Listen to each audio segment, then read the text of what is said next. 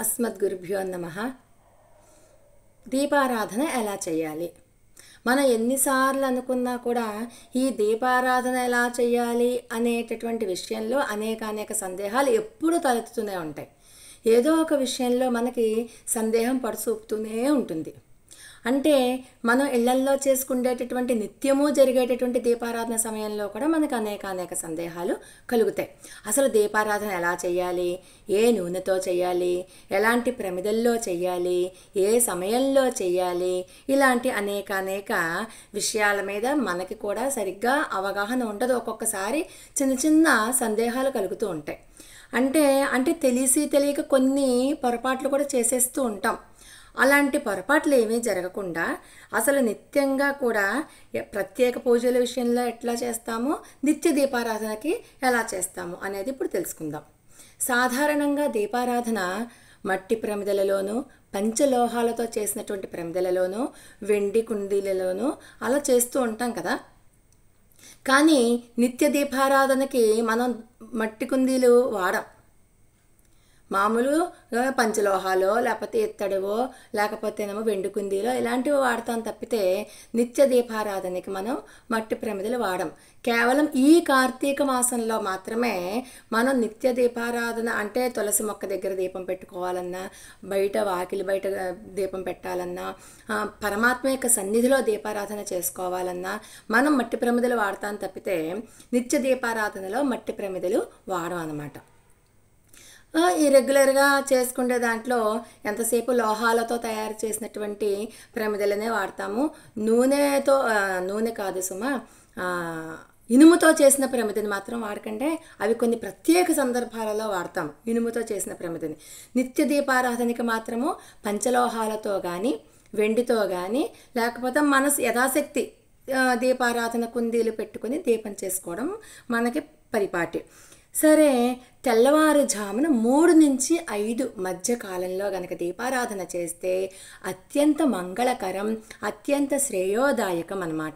అదే గనక సూర్యాస్తమయం అంటే సాయంకాలం గనక దీపారాధన చేస్తే దీపారాధన చేసుకుని లక్ష్మీదేవికి నమస్కారం చేసుకుంటే అనేక అనేక సంపదలు మనకి కలుగుతాయి. ఈ చూడండి ఈ కార్తీక మాసం నెల్లాళ్ళు కూడా ఉదయము చేస్తాము సాయంకాలము కూడా చేస్తాము. అంటే నిత్యము రెండు పూటలా చేసుకుంటే అలవాటు ఉన్న వాళ్ళైతే సరే ప్రత్యేకించి కార్తీక మాసంలో రెండో పూట దీపారాధన చేసేవాళ్ళు కూడా ఉన్నారు.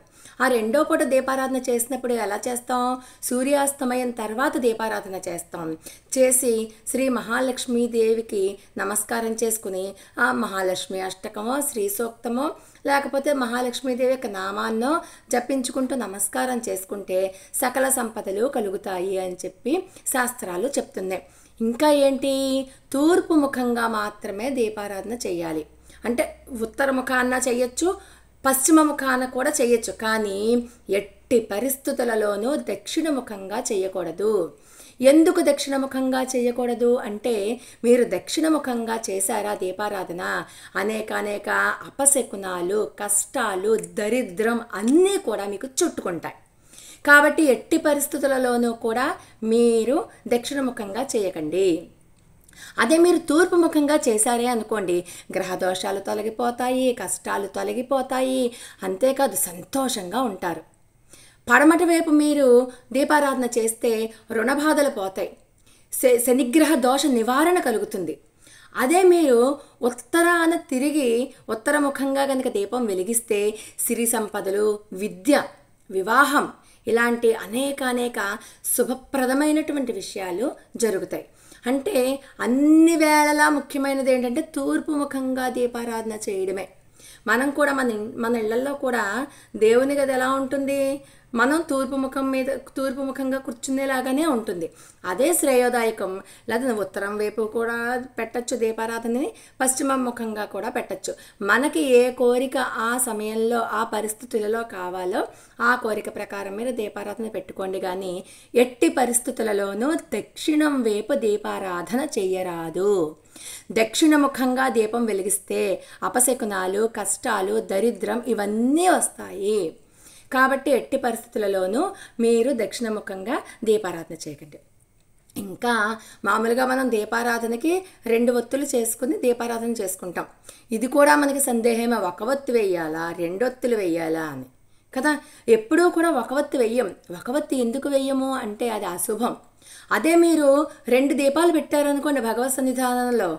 అప్పుడు దానికి అంత ఆక్షేపణ ఉండదు. కానీ ఒక దీపం పెట్టేటప్పుడు మాత్రం ఒత్తులు రెండు ఒత్తులు వేయాలి ఆ రెండు ఒత్తులు కూడా విడివిడిగా ఉండేలాగా వెలిగించాలి. రెండు ఒత్తులు మూడు ఒత్తులు నాలుగు ఒత్తులు ఐదు ఒత్తులు మీ ఇష్టం. ఎన్ని ఒత్తులన్నా వేసుకోవచ్చు. అంటే ఆ విడివిడిగానే వెలిగించాలి. అంతే తప్పితే ఒక ఒత్తుతో దీపారాధన మాత్రం ఎన్నడూ చేయకండి. దీంట్లో కొంతమంది చూడండి ఎర్ర దారపు గుడ్డతోటి చేసినటువంటి ఒత్తులు ఉపయోగిస్తారు. లక్ష్మీప్రదం. అంటే మనకి సిరి సంపదలు ఆర్థిక సమస్యలు ఉన్నవాళ్ళు ఎర్ర దారపు పోగులతో చేసినటువంటి ఒత్తులను ఉపయోగించి చేస్తారు.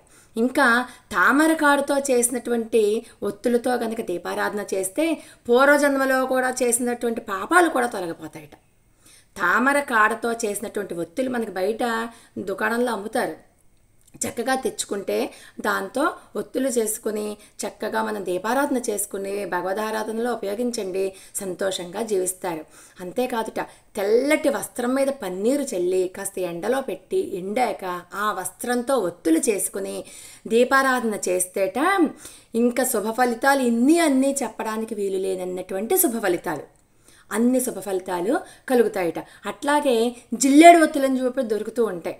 అంటే అనేకానేక దోషాలు తొలగిపోయి ఈతి బాధలు తొలగిపోయి మనకున్నటువంటి కష్టాలను దూరం చేసేటటువంటి శక్తి ఆ జిల్లేడు ఒత్తులకి ఉంది. అందుకే చూడండి మన ఇంట్లో జిల్లేడుతో చేసినటువంటి గణపతిని కూడా పూజిస్తాం. అది చాలా శ్రేష్టం అని చెప్పి. ఇంకొకటండోయ్ ఈ లక్ష్మీ ఆరాధనలో లక్ష్మీదేవితో పాటు పక్కన ఆవిడ యొక్క సోదరుడైనటువంటి గణపతిని కూడా పూజించడం మర్చిపోకండి. కాబట్టి మీరు ఈ రకంగా దీపారాధన చేసుకుంటే అంటే మీతో పాటు నేను కూడా అనమాట మనందరము ఈ దీపారాధన ఎలా చెయ్యాలి అనే విషయాన్ని మనం దృష్టిలో పెట్టుకుని దీపారాధన చేసుకుని ఆ సర్వేశ్వరుని ఆ జగన్మాత యొక్క కృపా కటాక్ష వీక్షణాలు మనపై ప్రసరించేలా చేసుకుందాం.